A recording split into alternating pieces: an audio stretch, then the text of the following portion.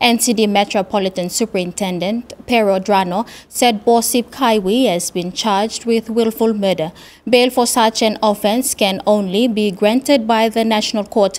Police also stated that Kaiwi is set to appear in court tomorrow, 29th of June, to ensure his warrant is issued for transfer to Bomana Corrections Facility. For the moment, CID Homicide and Forensic Science team are still building up a case against the suspect.